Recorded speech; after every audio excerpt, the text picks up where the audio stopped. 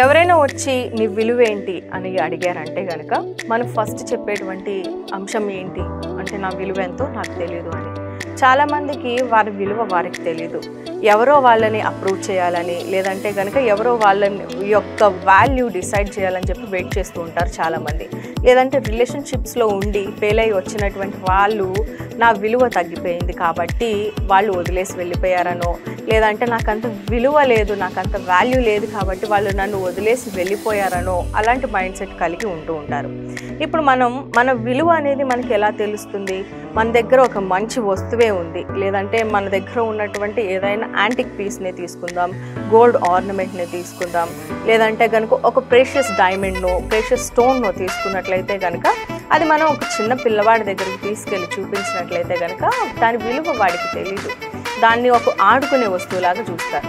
లేదంటే మనం ఒక ముసలి వాళ్ళ దగ్గరికి తీసుకెళ్ళి చాలా అనుభవం ఉన్న వాళ్ళ దగ్గరికి తీసుకువెళ్ళి ఆ వస్తువు గురించి అవగాహన ఉన్న వాళ్ళ దగ్గరికి ఆ వస్తువు గురించి అడిగినట్లయితే కనుక దానికి కరెక్ట్ వాల్యూ వాళ్ళు చెప్పగలుగుతారు. లేదు ఎలాంటి అనుభవ జ్ఞానం అనేది వాళ్ళకి లేదు. అలాంటి వాళ్ళ దగ్గరికి మనం ఆ వస్తువుని తీసుకెళ్ళి చూపించినట్లయితే కనుక ఆ విలువ నాకు తెలీదు అని అంటారు. లేదంటే రూపాయి ఇస్తానో రెండు రూపాయలు ఇస్తానో హండ్రెడ్ రూపీస్ ఇస్తానో చెప్తారు.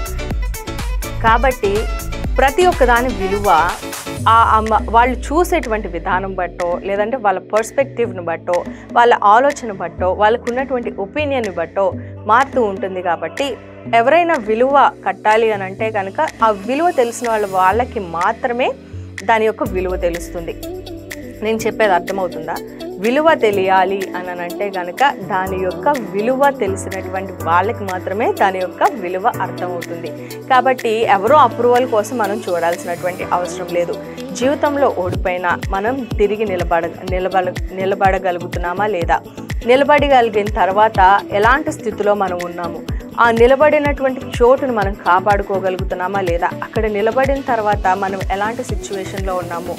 తలపొగరగలిగి ఉంటున్నామా? లేదంటే కనుక ఇతరులకు దారి చూపించేటువంటి విషయంలో మనం జాగ్రత్త పడుతూ ఉన్నామా? ఇలాంటి విషయాలన్నీ కూడా మైండ్లో ఉంచుకున్నట్లయితే కనుక మనం చూసేటువంటి విధానం మారుతుంది. మన గురించి మన పర్స్పెక్టివ్ మారుతుంది.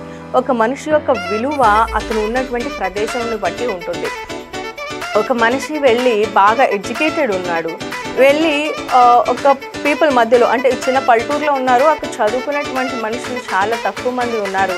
అక్కడికి వెళ్ళి ఆ మనుషులు ఉన్నట్లయితే కనుక అక్కడ ఆ మనిషికి ఉండేటువంటి విలువ చాలా ఎక్కువ ఉంటుంది. ఇప్పుడు మనం ఐటీ కంపెనీస్ చూసామంటే ఉంటే అక్కడ అలాంటి సిచ్యువేషన్స్లో ఉంటే ఎంత మంచి యూనివర్సిటీస్ నుంచి చదువుకొని వచ్చిన వాళ్ళు మంచి మార్క్స్ వచ్చినటువంటి వాళ్ళు అక్కడ తోకలేరు. ఎందుకు అని అంటే అక్కడ టాలెంట్ మాత్రమే కౌంట్ అవుతుంది. వాళ్ళకి ఉన్నటువంటి నాలెడ్జ్ మాత్రమే కౌంట్ అవుతుంది.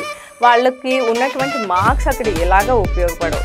కాబట్టి మనిషి ఉండేటువంటి ప్రదేశాన్ని బట్టి ఉండేటువంటి చోటును బట్టి ఉండేటువంటి మనుషుల మధ్యను బట్టి ఆ మనిషి యొక్క విలువ డిసైడ్ అవుతూ ఉంటుందన్నమాట. కాబట్టి ఎవరో మనకి అప్రూవల్ ఇవ్వాలని లేదంటే ఎవరో మన యొక్క విలువ తెలుసుకోవాలని చెప్పి తాపత్రయపడడం కన్నా మనం ఎలాంటి స్థితిలో ఉండాలి అనేటువంటి అవగాహన అనేది మనకు ఉంటే కనుక మన విలువను మనం ఓన్గా క్రియేట్ చేసుకోగలుగుతాము.